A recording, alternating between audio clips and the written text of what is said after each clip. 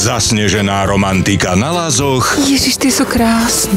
Tak toto máte aj s agroturistikou. Áno, áno, všetci tu krmia kravy, každý, kto sem príde. No páči sa mi tu, hlavne tento exteriér vašej chalupy. Príbehy starých stoličiek. Je to veľmi krásna práca, najmä teda, keď ľudia sa z toho tešia.